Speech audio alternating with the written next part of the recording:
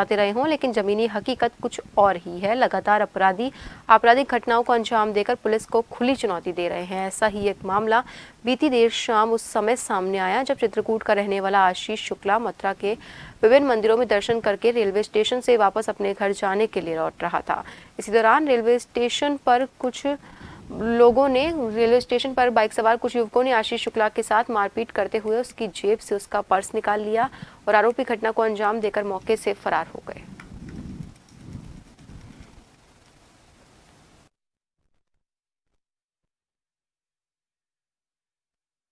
बिहारी जी का दर्शन करने आए थे। कब आए थे? वही आया था मैं परसों।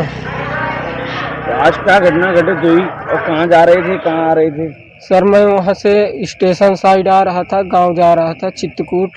तो तीन लड़के स्प्लेंडर प्लस गाड़ी से मेरे आगे पीछे लगाए थे। उसके बाद जब मेरी पर्स खींच लिए थे मेरे दो हज़ार बीस रुपये थे पूरे निकाल लिए हैं।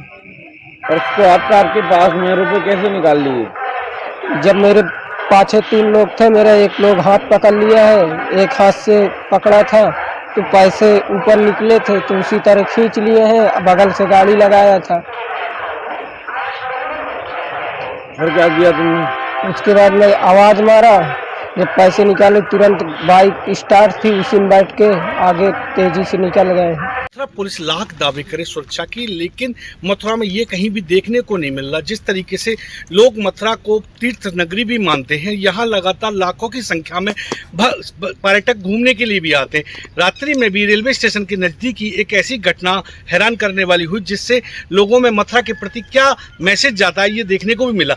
एक आशीष साले जो चित्रकूट से मथुरा घूमने आए थे, और उनके साथ दो युवकों ने उनके साथ मारपीट की और उनके पैसे छुड़ा लिए। जब पुलिस को इस बारे में शिकायत की गई तो पुलिस के द्वारा पीड़ित को ही उल्टा धमकाया गया और उन्हें कुछ पैसे देकर यहाँ से जाने के लिए कहा गया। और आगे भी इस तरीके से उनसे कहा गया कि आप यहाँ पर कोई भी रिपोर्ट दर्ज नहीं कराएँगे। ये एक पुलिस का आमनीय चेहरा देखने को मिला, जिस तरीके से जो मैसेज मथुरा के लोग देना चाहते हैं, पुलिस प्रशासन देना चाहता है, क्या देना चाहता है कि किस तरीके से मथुरा में इस तरीके से घटनाएँ होती रहेंगी और कब तक पुलिस इस पर कार्रवाई नहीं करेगी। ये एक बहुत बड़ा प्रश्न चिन्ह भी पुलिस पर लग रहा है, लेकिन जो पीड़ित था। वो आया यहाँ घूमने और उसके साथ चुनौती भी हुई और छिड़ने के बाद पुलिस के द्वारा उसे सही संवाद न मिलने की वजह से बड़ा दुखी मन से वो लौट के गया। ये एक मथुरा की छवि के लिए बहुत बड़ा धब्बा लगा हुआ है और इसे देखने के लिए मथुरा के अच्छे अधिकारियों को, बड़े अधिकारियों को इस पर चिंतन भी करना पड़ेगा, संवाद भी करना पड़ेगा।